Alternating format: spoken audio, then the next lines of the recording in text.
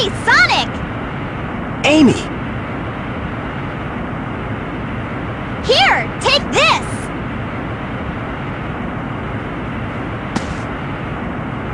Hey guys, what's up? Chaos only used the negative power of the emeralds. Sonic, you should be able to harness their real power. As much as I hate to admit it, I think Tails is right about this.